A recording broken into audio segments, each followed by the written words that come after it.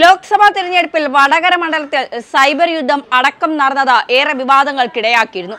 ഇതിന്റെ അലയൊലികൾ ഇനിയും തീർന്നിട്ടുമില്ല. ഇതിനിടെയാണ് ഇടതുപക്ഷത്തിന് വേണ്ടി പി ആർ പണിയെടുത്ത ശേഷം പണം കിട്ടിയില്ല എന്ന ആരോപണവുമായി യുവ മാധ്യമപ്രവർത്തക രംഗത്ത് വരുന്നത്. എൽ ഡി എഫിനായി പി ആർ ജോലി ചെയ്യാൻ ഏൽപ്പിക്കുകയും എന്നാൽ അതിനുള്ള ശമ്പളം നൽകിയില്ല എന്നും അതിനാൽ ഓഫീസിന്റെ വാടക അടക്കം നൽകാനാവാതെ ബുദ്ധിമുട്ടിലാണെന്നും യുവ മാധ്യമപ്രവർത്തക പറയുന്നുണ്ട്. മാധ്യമപ്രവർത്തക അപർണ സെന്നിന് കീഴിൽ പി ആർ ജോലി ചെയ്ത ലിനിഷ മാങ്ങാടാണ് ഫേസ്ബുക്കിലൂടെ ആരോപണങ്ങളുമായി രംഗത്തെത്തിയത്.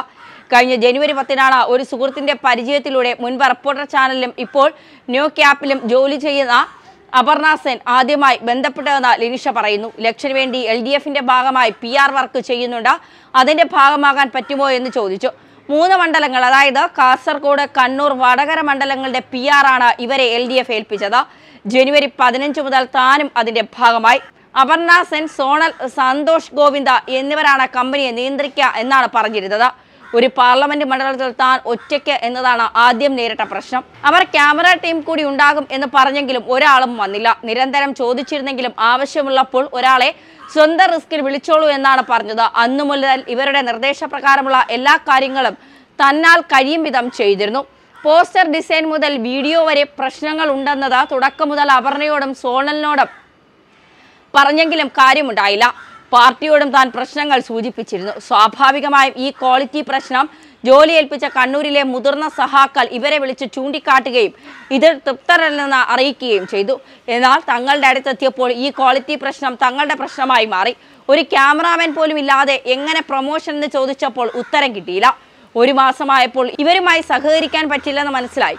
കണ്ണൂർ ടീമിലെ രണ്ടുപേർ സ്വയം ഒഴിഞ്ഞു മാറി. പിന്നീട് മാർച്ചിൽ താനും രാജിവെച്ചു.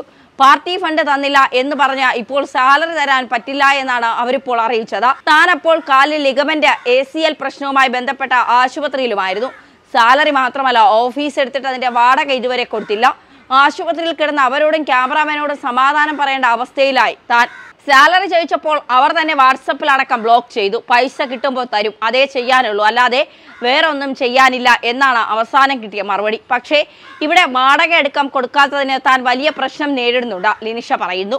കാസർഗോഡ് മണ്ഡലത്തിൽ മിഷൻ ട്വന്റി എന്ന അപർണാസൻ ടീമിൽ ആരും ഇപ്പോൾ വർക്ക് ചെയ്യാതിരുന്നിട്ടും നാല് പേർ ജോലി ചെയ്യുന്നു എന്ന് പറയുകയും ഇവർ പൈസ വാങ്ങുകയും ചെയ്തിട്ടുണ്ടെന്നും ലിനിഷ ആരോപിക്കുന്നു. പക്ഷേ ഇവിടെ സാലറി അടക്കം കൊടുക്കാത്തതിന് ഞാൻ വലിയ പ്രശ്നം നേരിടുന്നുണ്ട്. കാസർഗോഡ് മണ്ഡലത്തിൽ മിഷൻ ട്വന്റി എന്ന അപർണാസൻ ടീമിൽ ആരും ഇപ്പോൾ വർക്ക് ചെയ്യാതിരുന്ന കാലത്തും നാല് പേർ വർക്ക് ചെയ്യുന്നു എന്നവർ പറയുകയും പൈസ വാങ്ങുകയും ചെയ്തിട്ടുണ്ട്. ഞാൻ അവരുടെ പോസ്റ്റുകളും കമന്റുകളും ശ്രദ്ധിച്ചപ്പോൾ പാർട്ടി സഹാക്കളൊക്കെ അവരെ ലാൽ സലാം പറഞ്ഞ് അഭിവാദ്യം ചെയ്യുന്നത് കാണുന്നുണ്ട്. പ്രിയ സഹാക്കളെ നിങ്ങളോടാണ്. ഇവർ എന്നെ മാത്രമല്ല പാർട്ടിയും എന്റെ സഹാക്കളെയും വഞ്ചിച്ചതാണ്. ഇത് ചൂണ്ടിക്കാട്ടി ഞാൻ കാസർഗോഡ് മണ്ഡല committee chairman Satish Chandra K P സഹാവിന് കത്ത് നൽകിയിട്ടുണ്ട്.